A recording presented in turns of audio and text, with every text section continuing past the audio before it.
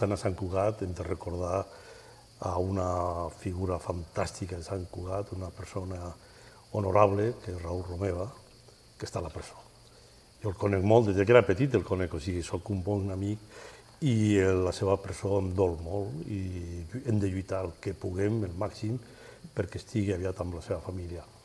Jo visc a Caldes de Montbui, ell va viure allà a Caldes de Montbui quan era petit, i allà hem format un grup de suport a Raül i per això sempre voldria que el meu primer record sigui pel Raül. A nivell de Catalunya penso que hem fet un canvi espectacular. En un any ningú pensava que podríem tenir aquest nivell de lluita, aquest nivell d'interès per la no violència, aquest nivell de definició. Clar, si llegeix les cartes de, de, de, de, de, dels presos, tots fan una demanda eh, de que sí, continuem amb la lluita no violenta.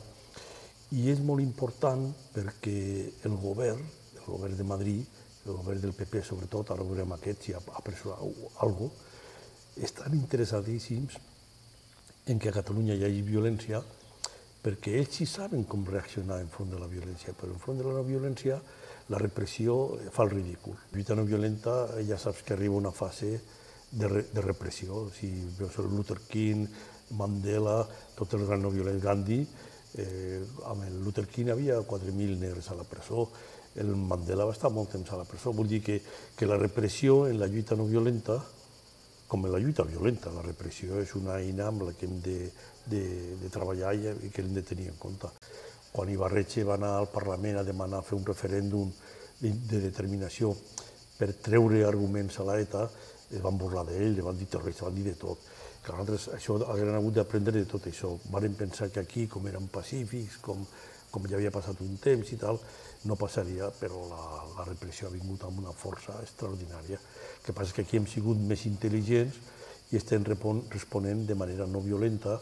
El dia 1 va ser fantàstic i el dia 1 vam veure la força que tenim amb la lluita no violenta.